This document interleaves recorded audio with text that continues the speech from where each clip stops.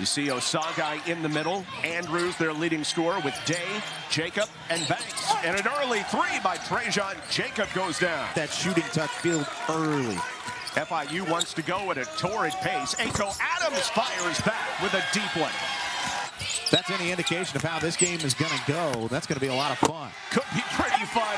And Osasu Osaghae abuses the rim.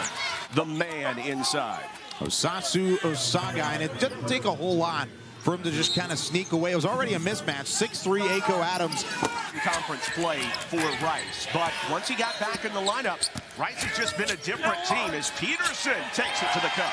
Driving and dishing. Nice exchange. Mullins trying to get his team back on the board.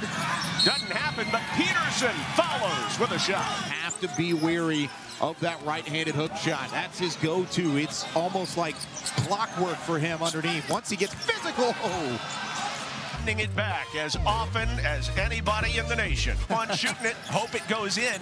Is it deeper than that, though, for Rice? I think it has to be, especially with the physicality you've seen from Osasu Osaghae. Devon Andrews with the swipe after 10 straight points by FIU spanning the quarters. Finally, Peterson with the three, but right back in the eye, Trejon Jacob over Ako Adams. Got to find a way to draw in a defense, and especially after you have a couple of those drives go your way, FIU has to respect it. Opens up the outside. Dave floats one in off the glass.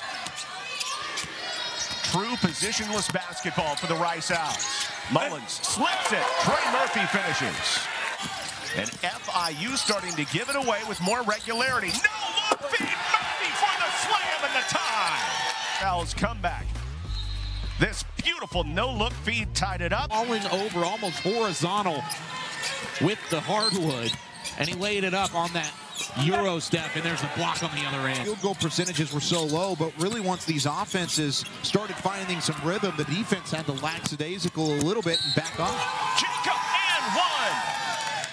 With a full head of steam, it doesn't matter when there's three jerseys right around him.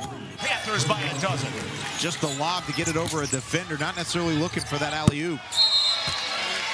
Big three for Trey Murphy the third. Door might be open and cracked for Rice here as Peterson looks to keep it away from the defense, but a live ball turnover. Here's Jacob. This time he's able to slam it, and that might put it on ice. And every single team has guys like that on it. And that's what makes tournament time and March. Tonight, it was heartbreak for the Rice Owls, but for FIU, it was revenge. And the five seed holds form and moves on to the quarterfinals tomorrow.